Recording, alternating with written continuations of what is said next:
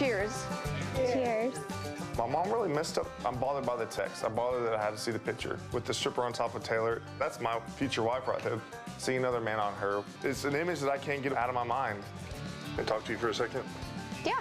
I need to tell her that it bothered me and that, you know, no matter what, I don't want her to do that again. What's up, Fee? Nothing. You having fun?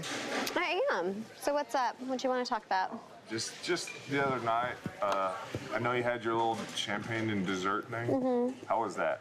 It was good. Okay, so I wasn't expecting this, but this is why I wanted to talk to you. My mom sent a picture. Yeah. She And basically gave me almost like a play-by-play, and I couldn't have done without saying that. But I mean, I understand your annoyance. I didn't set it up. But I don't understand why she would take pictures deliberately of a bachelorette and I send them to her pictures. son. I So is she trying to instigate stuff? I thought we were trying to put all this stuff behind us. That's a bitch move and a half there. I don't understand what kind of person would try to purposely sabotage her child's wedding. That's just unfathomable to me. Is this what I'm gonna have to deal with the entire marriage? Is it things like this from her? She's starting.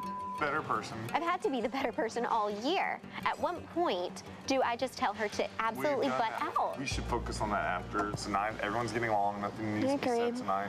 Getting married tomorrow, so Well, as long as you're not mad at me, you know I tell you everything anyway. and I tell you everything too. I actually feel like I really could cry right now. It's just really frustrating.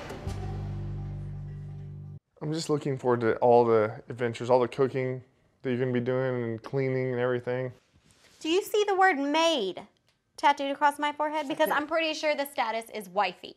I can't do it all myself.